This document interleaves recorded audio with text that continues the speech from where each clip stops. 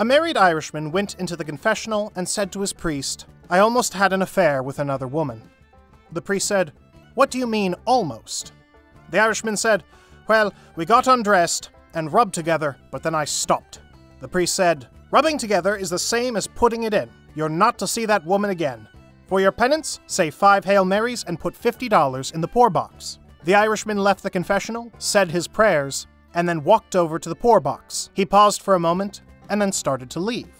The priest, who was watching, quickly ran over to him, saying, I saw that you didn't put any money in the poor box. The Irishman replied, Yeah, but I rubbed the $50 on the box, and according to you, that's the same as putting it in.